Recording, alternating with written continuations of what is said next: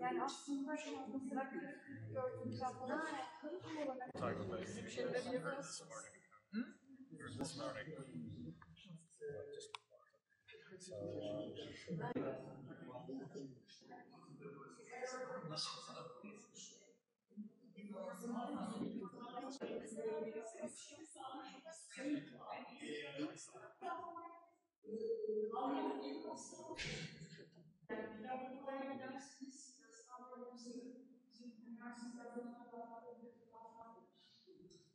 Evet, neredeyiz? Peki. Hepsini göndereceğiz. Tamam.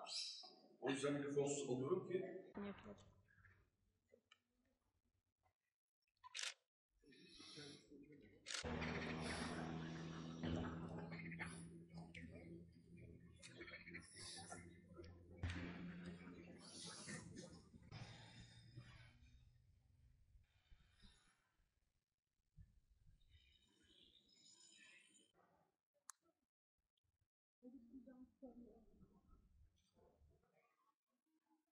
Merhabalar, Ee, Bandırma Arkeoloji Müzesi'ndesiniz. Burada gördüğünüz e, de e, temsili bir batıktan alınmış olan kesit. Çeşitli dönemlere ait e, amforalar var burada.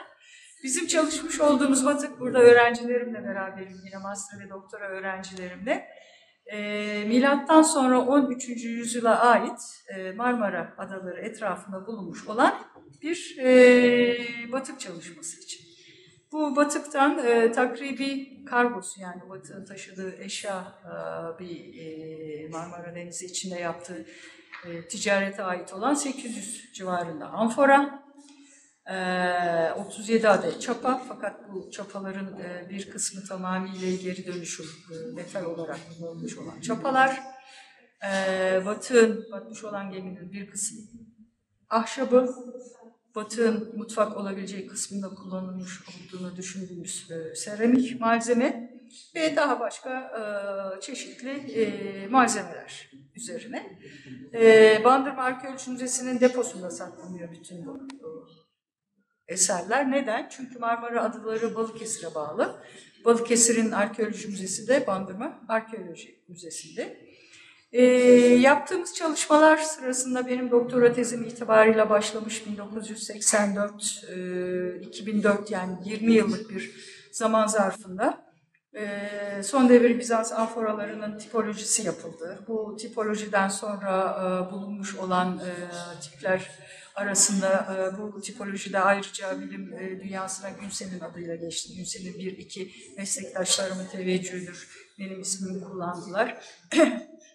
bulunmuş olan bir tipin, Günsel'in bir e, tipinin e, yapım yerlerinden yola çıkaraktan e, günümüz Gazi Köyü, e, o zamanın Ganosu.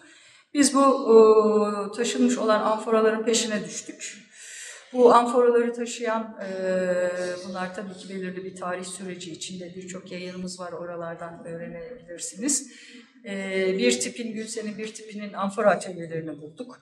Daha sonra bu atölyelerde bulunmuş olan, e, yapılmış olan amforaların gidebildikleri değil de acaba gidemedikleri yerler neresidir, bunları taşıyan gemiler nerelerde batmıştır diye diğer bir sualtı araştırmasına yöneldik ve e, özellikle 93, 94, 95, 96 yıllarında yaptığımız araştırmalarda Marmara Adaları, Marmara Ekinlik, orada birçok adalar grubudur zaten. Adaları da, adaları Marmara Adaları, takım adaları denmesinin nedeni odur. 16 tane arkeolojik sit alanı bulduk. 13 tanesi batık, 2 tanesi amfora yapım yerleri, bir tanesi de höyük. Çok önemlidir bu höyük inşallah yarın bir gün bir arkadaşımız kazar. Bu bulunmuş batıklar içerisinde tarih olarak beni en çok ilgilendiren ve bilim dünyasına katkı verecek olan 13. yüzyıl. Çünkü 13. yüzyıl e, son devir Bizans amforalarını taşıyor. Daha sonra tahta fıçılara e, geçilmiş. Birçok yönden e, batık kronolojisine yani batık yapım tekniğinin e, boş bir sayfasıydı, bilmediğiniz bir sayfasıydı. O yüzden e, 13. yüzyıl batığını kazmaya karar verdim. 1998 ve 2004 yılları arasında da bu batığımızın kazısı başladı. E, hali, haliyle herkes gibi siz de sorabilirsiniz. E, 2004'te bitmiş, 2024'e gidiyorsunuz siz. Hala Bandırma Müzesi'nde bu batığı mı araştırıyorsunuz? Evet. Çünkü e, bir e, arkeoloji kazı e, buz kütlesini andırır. Buzun üstünde gördüğünüz sizin o bizim yaptığımız karadaki veya suyun altındaki çalışmalardır. Fakat daha sonra biz e, bilim insanları o yaptığımız kazının yıllar yıllar yıllar süren araştırmasını yaparız. Müzede bulunma nedeni, nedenimiz de öğrencilerle birlikte master tezi olsun, doktora tezi olsun bizim de final yayına yaptığımız e, araştırmaların bir devamı. O yüzden buradayız.